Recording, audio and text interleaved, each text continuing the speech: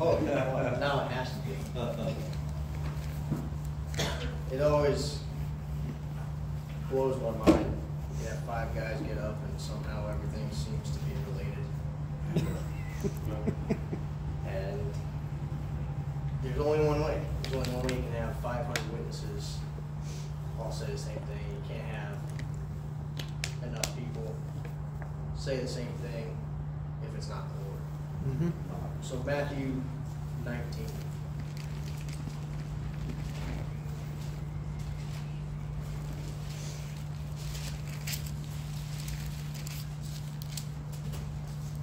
Look at verse 16.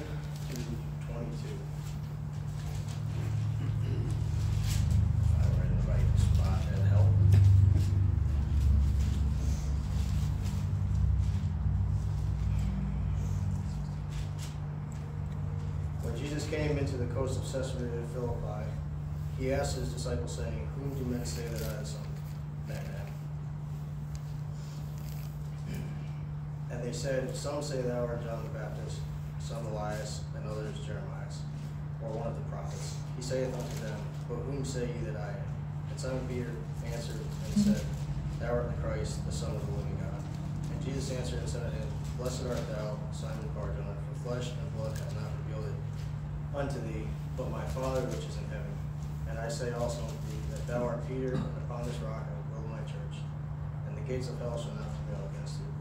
And I will give unto thee the keys of the kingdom of heaven, and whatsoever thou shalt bind on earth shall be bound in heaven, and whatsoever thou shalt loose on earth shall be loosed in heaven. Then charged he his disciples that they should tell no man that he was Jesus Christ. So, I'll sit right here. From that time forth began Jesus to show unto his disciples how that he must go into Jerusalem and suffer many things of the elders and chief priests and scribes, and be killed and rise again the third day. Then Peter took him and began to rebuke him, saying, Be it far from the Lord, this shall not be unto thee. But he turned and said unto Peter, Get thee behind me, Satan. Thou art an offense unto me, for thou savorest not the things that be of God, but those that be of men. Well, that is a really good passage. I think that's what I want.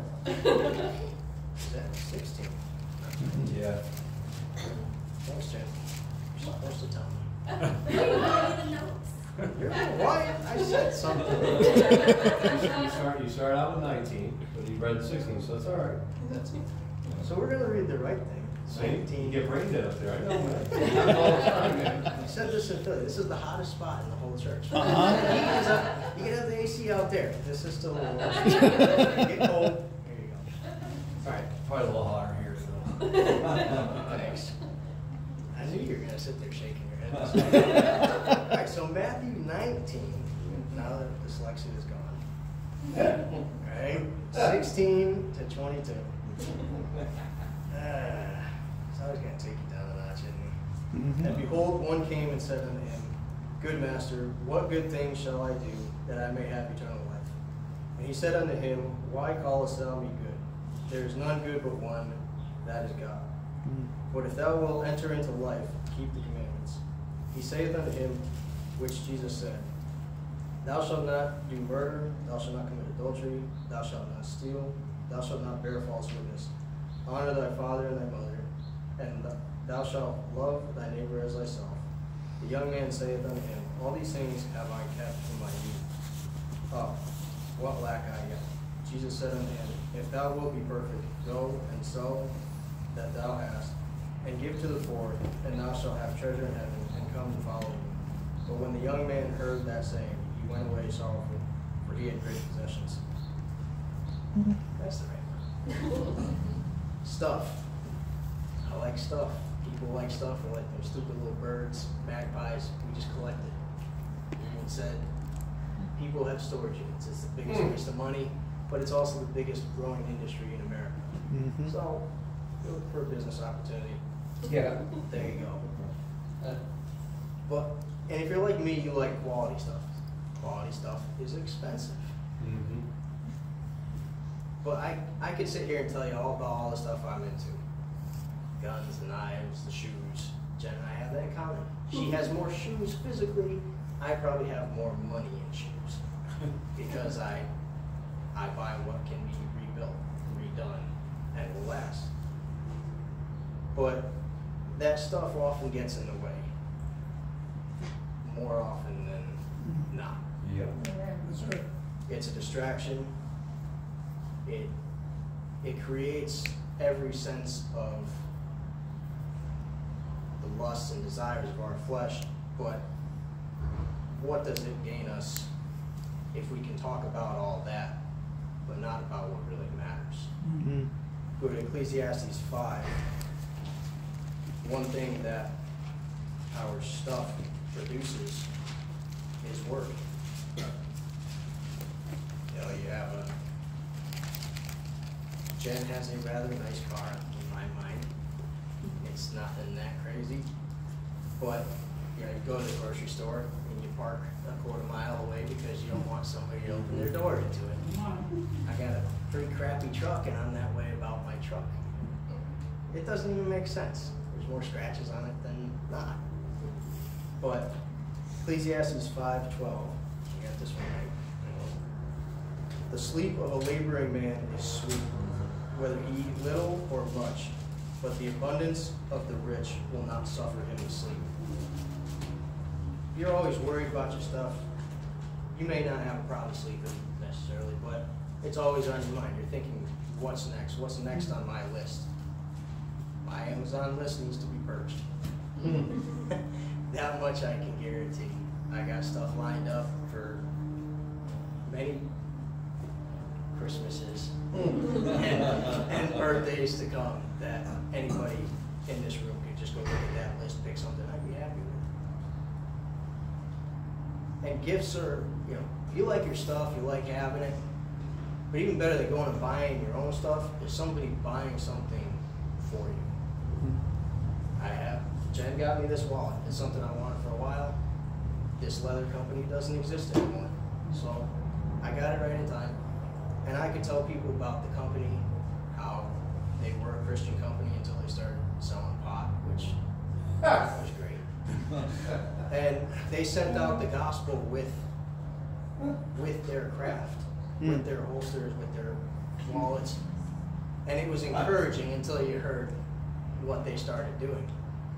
But they had no shame in sending out a portion of the gospel. It wasn't scriptural, but it was a testament, testimony type thing. But they sent it out. But I can tell people about how well this holster's made. I can tell people about how well my boots are made, how well, um, I can talk about that stuff. I'm sure if you have any other interests, you could too. You know, we all can. But just like this wallet is a gift for me, in Proverbs 17, verse 8,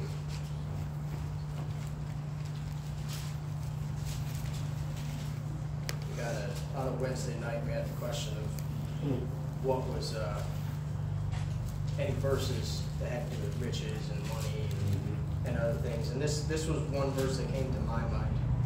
And it's convicting for me because, like I said, I, I get very into talking about the things I'm interested in. Most people do, I believe.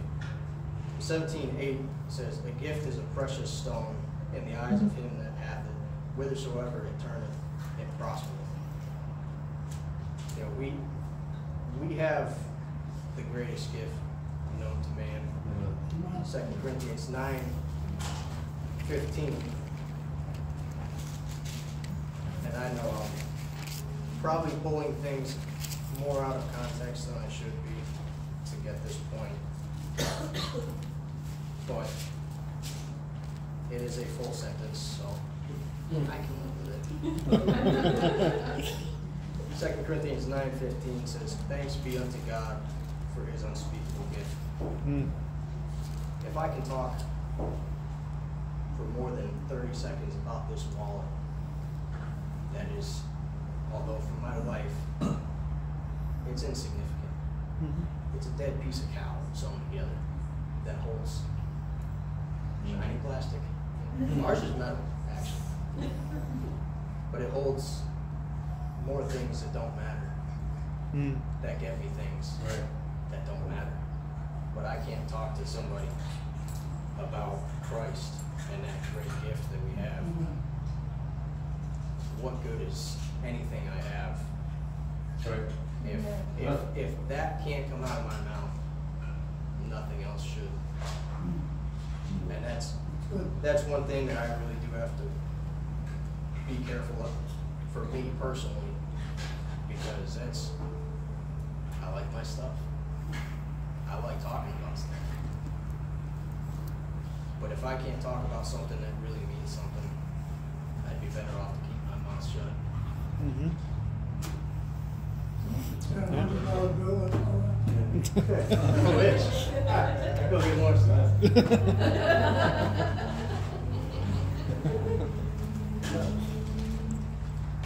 It's good stuff, man.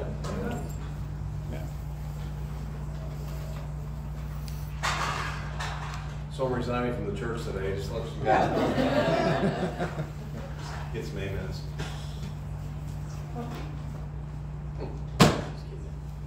Not going anywhere, you'd have to kill me.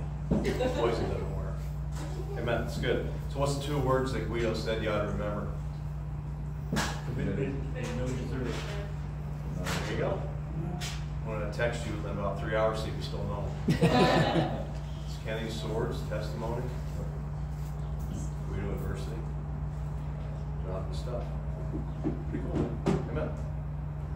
We'll be without the Savior? Yeah. It's a blessing. Brother James Lindsay, pray for us, and we'll depart for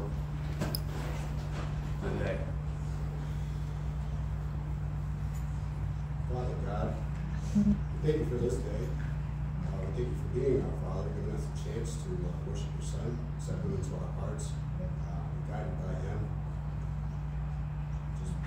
Bring us close to you. Coming here to be able to fellowship with brothers and sisters, knowing more of your word, knowing more of your way, being able to be led by the Spirit, guided by the Spirit, and be able to help out others. First, it all comes with your understanding who you are, what you've done for us. Amen. Lord God, we, we couldn't do anything to go into heaven. And you gave us a gift. We expect then, promise, what we have to do is believe in your Son and uh, accept what you did for us. Accept him as our Lord and Savior. And we thank you for that. Father God, I just ask that you continue to encourage each and every one of these brothers and sisters to be able to reach out towards those who uh, who are still lost, who are wandering in youth. Amen. Be able to encourage each other, to keep each other lifted in the spirit, and just come together and be able to bring your, your sheep home. Like you said, you don't want none of us to perish. So help us to do that, continue to help us. And, uh, Father God, I just ask that you just continue to let that fire burn strong in each and every one of us. Day after day, bring those closer to you. For your glory, for your will. Thank you for all that you continue to do in our lives. For the blessings that you, you don't have to give, but you do. Because you are forever faithful. Thank you, Lord. Jesus' name we pray. Amen. Amen.